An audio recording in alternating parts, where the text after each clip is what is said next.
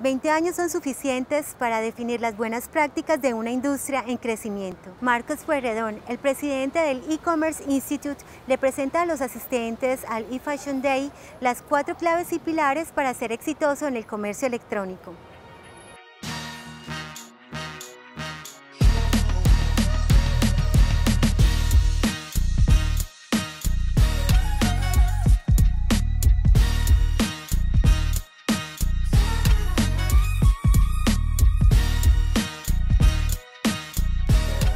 Primero eh, hay que tener que en cuenta que ya tenemos en este 2020, en este año, eh, tenemos 20 años de industria y de camino recorrido, donde ya tenemos buenas prácticas y hoy básicamente tienen que resolver lo complejo en forma sencilla y eso es copiar inteligentemente lo que ya están haciendo muchas empresas y emprendedores hoy en Colombia, que son cuatro pilares y cuatro claves. Cuando uno analiza qué están haciendo esos emprendedores que han logrado dominar el canal digital en forma exitosa en Colombia y en la región, dominan a nivel de arte cuatro pilares y cuatro claves.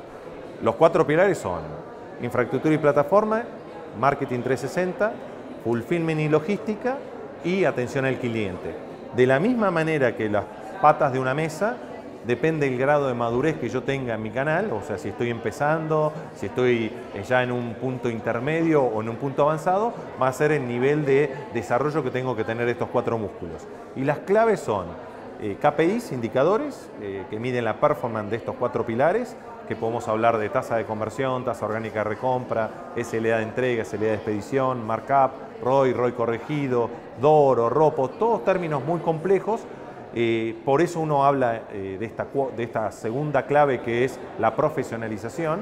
Si uno no domina a nivel de arte, a nivel del Botero, del Quinquela Martín, del Picasso, del Digital Commerce, estos cuatro pilares y no entiende los indicadores que van a medir, medir estos cuatro pilares, no va a ser exitoso.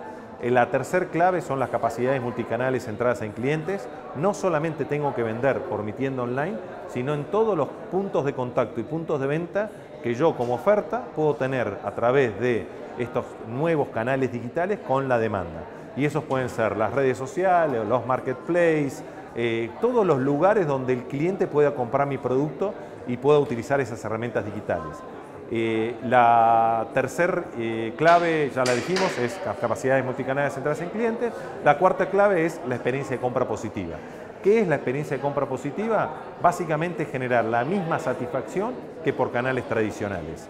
Entonces, eso es muy complejo, pero hay que hacerlo en forma sencilla. Y estos cuatro pilares y cuatro claves es el foco que yo tengo que tener para poder ser exitoso en Colombia y en la región. Ahora Marcos nos contará cuáles son las plataformas ideales para hacer e-commerce en nuestros emprendimientos. En el fondo cada caso es un caso, o sea, depende del producto o el servicio que yo venda. Nosotros normalmente identificamos eh, cuatro eh, verticales dentro de la industria que son eh, food, non-food, bienes digitales y servicios. Entonces, si uno está, por ejemplo, en non-food y bienes digitales o servicios, uno tiene distintas tipologías de implementación, que puede ser B2C o B2B.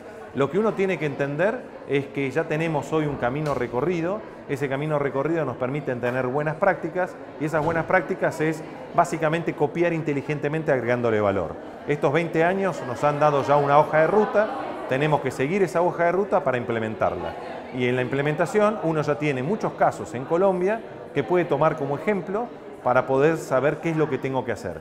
Y ahí es uno identifica esas capacidades multicanales centradas en clientes. No solamente tengo que vender por mi tienda online, sino dónde está el cliente. Entonces, si yo tengo que empezar, tengo que aprovechar los músculos de terceros y ahí están los modelos que son B2B2C. Esa B del medio es una empresa que puede ser un Mercado Libre, un Dafiti, un Linio, un Éxito, un eh, Jumbo, que me prestan sus músculos para llegar al cliente final y eso se llama normalmente marketplace. De yo como marca o como eh, comercio minorista puedo vender mis productos en Dafiti, en Linio, en cualquier eh, empresa que ya tiene sus músculos desarrollados, adquirir ese cliente que tiene un costo que tiene un costo de adquisición que se llama CPA, pero a partir de esa adquisición de cliente empiezo a generar mis canales propios y no hay que olvidarse que también las redes sociales, un Facebook, un Instagram, depende del tipo de producto que yo venda, un WhatsApp, también funcionan y por eso hablamos de esas capacidades multicanales centradas en clientes. Entonces, tengo que poder y aprovechar todos esos canales y puntos de contacto que tengo yo como oferta con la demanda, porque son eh, parte de esas herramientas y esa nueva forma de venderle y de satisfacer eh, la demanda de un producto o un servicio. El, desafío que tenemos eh, en estas en esta nueva década que comenzamos son los dos dígitos con rentabilidad y sustentabilidad. Ya en estos últimos 20 años de camino recorrido en América Latina demostramos que el canal es canal, que uno ya que no es un problema de demanda, sino es un problema de oferta, de profesionalización de esa oferta y que esa, esa oferta ya tiene la capacidad de poder llegar a que los canales digitales sean más del 10% de la participación sobre el total de la venta de mi empresa o de mi emprendimiento pero tengo que lograrlo en forma sustentable y rentable. Y para hacer eso tengo que dominar los cuatro pilares y las cuatro claves y un punto, una de las claves muy, pero muy importantes es la profesionalización de la oferta porque es la única forma de lograr ser rentable y sustentable. Y para todos aquellos que estén interesados en, empezar a caminar en este mundo hacia el comercio electrónico, los negocios por Internet, les recomiendo que, participen en estos eventos. Este tour de eventos se hace en 17 países. Ingresen al sitio oficial del tour que es e-commerce day, e-commerce con doble L, doble M day.org. Ahí tienen todas las eh, fechas de todos los 17 países donde hacemos esta actividad y en todos los eventos se transmiten online para toda América Latina y el mundo y, quedan los contenidos on demand en nuestro canal oficial de YouTube. Así que el contenido está a un clic de distancia, es un tema de eh, aprovechar las oportunidades que nos da Internet y, tener lo que yo siempre digo que es la actitud para poder empezar a ejercitar eh, mis músculos y ir al, al gimnasio del digital commerce, del e-commerce y empezar a hacer mi propio camino.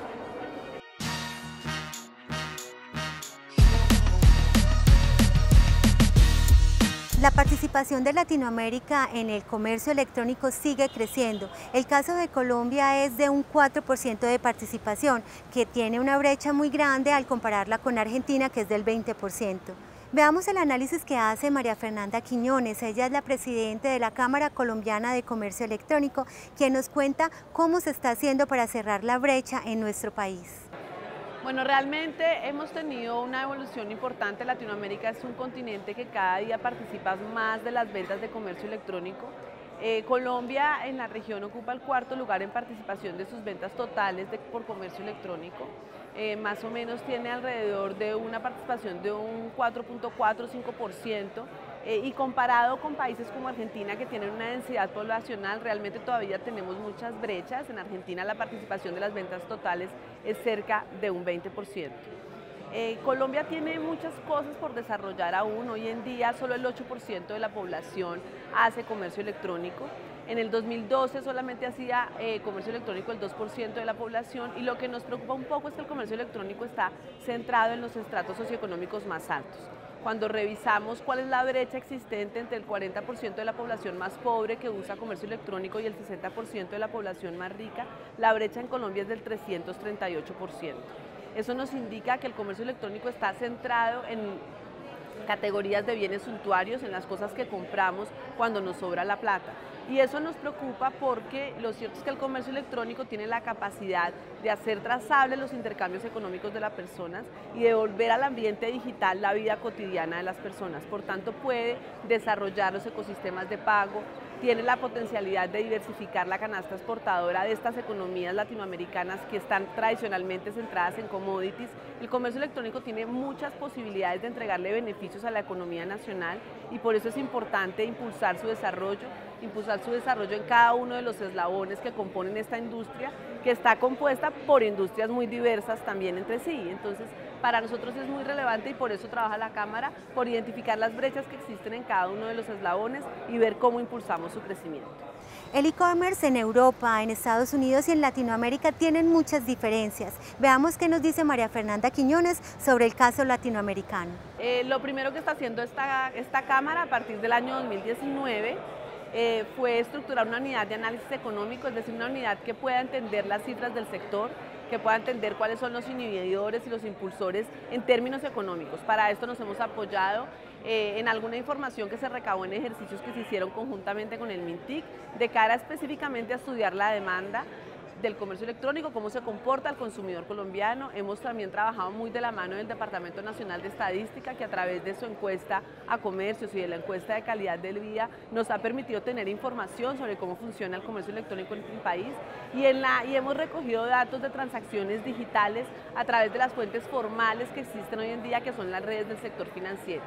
Aquí es importante que, pues, evidenciar que el comercio electrónico en Colombia no es en su totalidad un comercio electrónico perfecto. Que es un comercio electrónico perfecto? Aquel comercio electrónico que se, que se pacta en línea y se paga en línea. En, en, Colombia, dada digamos, el rezago que hay de inclusión financiera, hay una importante proporción, casi el 50% del comercio electrónico en Colombia se, se, paga en efectivo a través de modalidades como pago contra entrega y como punto de recaudo. Entonces realmente ahí hemos tenido pues mucho que trabajar. Una vez identificado el tema económico, hemos definido de acuerdo con las diferentes industrias siete líneas de política pública en la que hemos identificado por cada una de las líneas una serie de brechas y una serie de acciones que hemos emprendido en diálogos con el gobierno y pues con el Poder Legislativo también de cara a estructurar una regulación o de plantear también incluso una desregulación para darle mucha más amplitud de desarrollo al comercio electrónico. Y finalmente, lo, lo, último que hacemos o lo último que engloba nuestra, nuestra accionar es generar confianza y conocimiento en el comercio electrónico. Por eso la Cámara Colombiana de Comercio Electrónico tiene una amplia oferta eh, de seminarios, de, workshops, de diplomados en temas relacionados con comercio electrónico y también promueve el, los eventos de activación de ventas, que son grandes eventos que se hacen en función de determinadas estacionalidades para promover eh, en las dos puntas la activación de la oferta y la activación de la demanda en comercio electrónico y generar confianza en este nuevo canal.